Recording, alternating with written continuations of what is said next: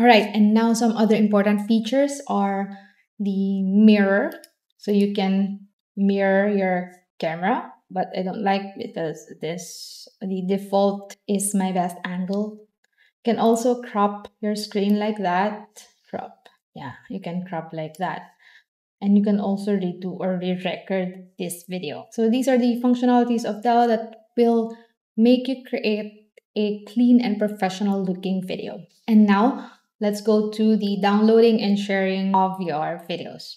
So when you're happy with your video and you're ready to export your video, just click this download button and choose the file type, subtitles, burned in or none. So you have here separate clips and then the size should be 4K. And then if, if it's shorter than 5 minutes, then you can choose 60 frames per second and then click start export. But if you want to share your video, just share it to your teammate. Just click share and copy the link and just send the link. how simple and straightforward it is. Okay, so Tella is usually compared to Loom, but Tella is a better Loom, and Loom knows it because you can have unlimited recording time, AI editing tools built in, intuitive layout, and design features, transcript based editing, customizable captions, way, way more personality. And yeah, it's very affordable.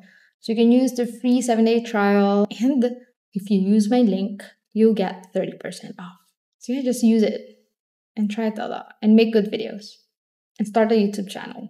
Yeah, I've been using Tella for 12 months already, and as you can see my YouTube videos, all of those are recorded with Tella.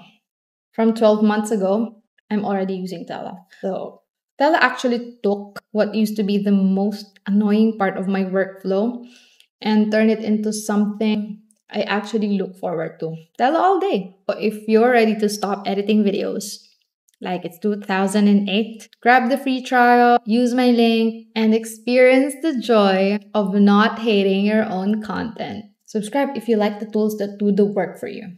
Because you've got better things to do.